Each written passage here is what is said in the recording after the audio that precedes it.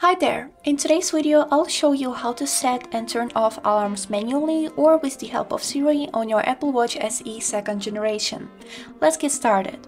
Firstly, I will show you how to do it manually. For that, wake up your watch and click on this digital crown. Then go to the alarm application and here you'd be able to see all of your alarms and also be able to add a new one by clicking on this plus. Here you can set hours and minutes in which you want the alarm ring and after click on this confirmation button. And now you'd be able to see your alarm right here and it will ring at the exact time. If you want to turn off the alarm, simply click on this green slider right here and the alarm will be turned off. Now let's move on to the Siri. Firstly, we need to call her out. Hey Siri, set alarm for 1 am. Done.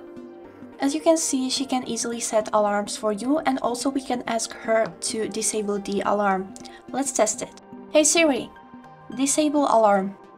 I found alarms. Which one? Third one. I've turned off your 1649 alarm. And here it is how it works. With the help of Siri, the process of setting and turning off alarms is much easier on my opinion. And that was all for today. I hope this video was helpful for you and thank you so much for watching.